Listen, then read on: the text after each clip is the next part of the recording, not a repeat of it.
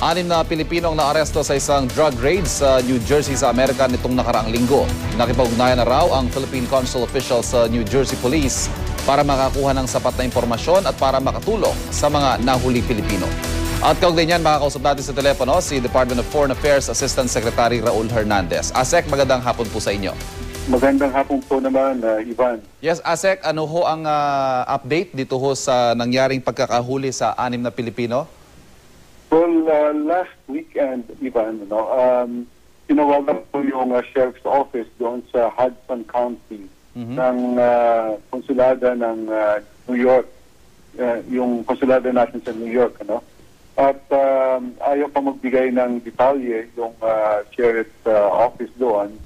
So, uh, minarapat po ng ating uh, konsulada na makipag-ugnayan sa kanila uh, this Monday, no? Mhm. Uh, at uh, makipag-usap na rin uh, doon sa prosecute, prosecutor's office na kung saan yung uh, kaso ay nasa kanila ngayon uh, for preliminary investigation. Mhm. So uh, we will only get the uh, detailed information maybe by tomorrow when our uh, consulate has reported back to us.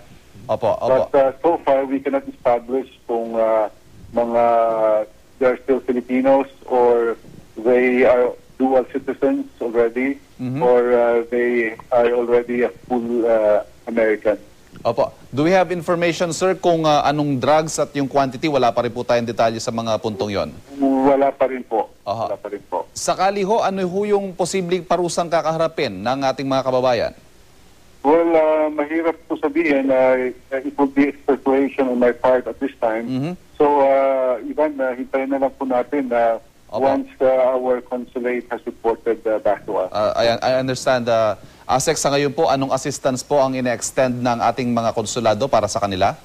Well, uh, pag uh, halimbawa nalaman na natin yung kanilang uh, mga uh, status uh, doon, uh, pati yung uh, kan- kanilang uh, nationality, if they are uh, Filipinos, Mhm. then we are ready to help them out uh, regarding uh, uh, uh, securing uh, uh, legal uh, representation, uh, making sure that uh, they have a lawyer uh, who can help them in their defense. Opo, sa may iba po ko, ASEC, ano, kumusta naman po yung mga Pilipinong nasentensyahan ng bitay sa China naman? Meron na po bang update tungkol sa apelang ah, ipinaabot natin sa pamahalaan ng China?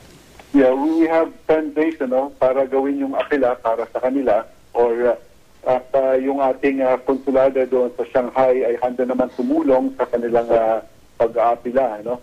Uh, yung uh, dalawang uh, kababayan po natin, isang lalaki at isang babae ay nahatulan ng kamatayan sa Hangzhou uh, People's Intermediate Court. Mhm. Pero yung uh, babae po, ang hatol sa kanya is death without reprieve. Okay. Ah, at yung lalaki naman po ay uh, death with two-year reprieve. Mhm. Ibig sabihin, uh, ibig sabihin na kung uh, nagpakita siya ng uh, mabuting pag-uugali o asal at pagsisisi sa loob ng dalawang taon uh, na pinagpaliban ng ekskusyon, maaaring ibaba ang sentensya sa life imprisonment. Uh, so, uh, binibigyan po natin sila ng uh, legal assistance uh, at uh, in-ensure natin na mayroong uh, lawyer na uh, tutulong sa kanila sa kanilang depensa. Okay, maraming salamat. Assistant Secretary Raul Hernandez, sir, para sa update na yan. Thank you, sir. Thank you, Ivan. Thank you.